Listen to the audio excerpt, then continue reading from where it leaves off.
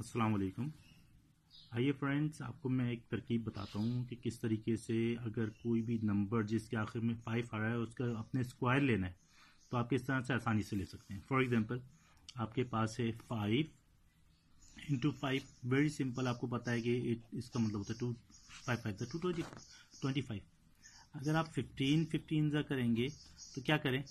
बहुत सिंपल है कि आप इसमें जो नंबर है, जो आपके लेफ़्ट हैंड के ऊपर है, इसमें वन प्लस करें तो ये हो जाएगा आपके पास टू और इसको मल्टीप्लाई कर दें नीचे वाले नंबर के साथ तो टू वन ज़ा टू और फाइव फाइव ज़ा ट्वेंटी फाइव तो इसका आंसर आ गया. इसी तरीके से अगर आपको चाहिए ट्वेंटी फाइव का स्क्वायर मालूम करना है तो क्या करेंगे? फाइव फाइव ज़ा तो ट्वेंटी फाइव ही रहेगा. इसमें से प्लस एक वन कर दें तो ये थ्री हो जाएगा, और थ्री टू ज़ा सिक्स सिक्स ट्वेंटी फाइव जितने बड़े से बड़ा नंबर है, वो आप कर सकते हैं। For example